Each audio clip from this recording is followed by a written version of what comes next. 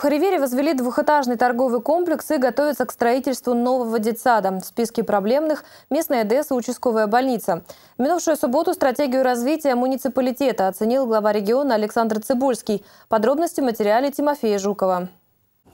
Современный торговый комплекс в селе возвели в рекордные для Заполярья сроки. Руководитель местного потребобщества Татьяна Кокина рассказала Александру Цибуйскому, что муниципалитету понадобилось 19 миллионов рублей, чтобы построить уютное здание общей площадью 400 квадратных метров.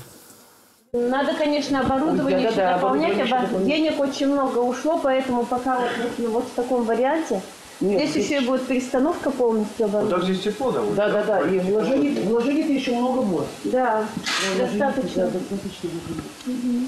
Потому что еще молодой, только родился, недавно родились, Глава региона осмотрел в поселке работу пекарни, сельской бани и детского сада, участковой больницы, дизельной электростанции. Последние два вызывают особую тревогу. Строительство новой электростанции было заморожено по вине подрядчика 7 лет назад. Есть лишь каркас, над судьбой которого сейчас гадают в муниципалитете. Иной расклад в участковой больнице. Объект, оснащенный современным оборудованием, сдали в строй в 2014 году. Но подрядчик допустил множество недоделок. Устранять их предстоит теперь с участием судебных приставов. Мне, э, наверное, уже такая прошла точка кипения в моем осмотре этих объектов – и, конечно, когда я вижу э, больницу, которую ввели в эксплуатацию в 2014 году, а сегодня она уже внутри начинает разваливаться, и фактически мы должны принимать решение о проведении там довольно серьезного ремонта, но я как минимум считаю, что это не совсем эффективное расходование средств.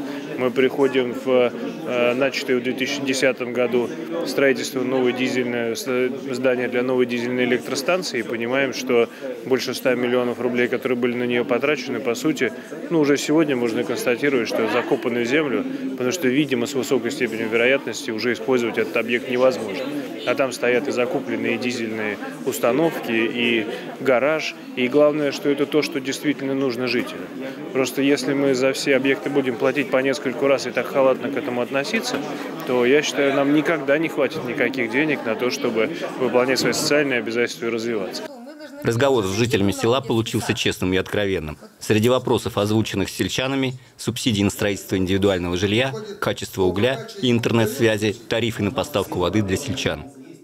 Приятное то, что мне очень понравились жители очень как и других населенных пунктах Ривера, мы очень откровенно, честно поговорили, услышали про те проблемы, которые перед ними стоят.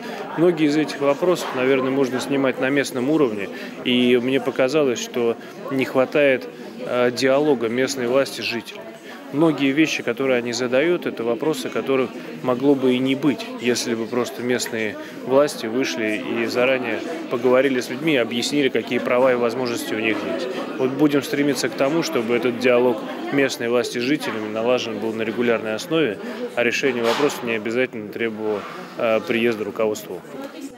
Поездка в Харивер лишь подтвердила, что вопросы, которые волнуют людей, везде одинаковые. И в завершении позитивный момент, озвученный в ходе встречи. В этом году в Харивере начнется строительство долгожданного детсада. Объект в числе приоритетных для округа. Тимофей Жуков, Вадим Стасюк, телеканал «Север», Харивер.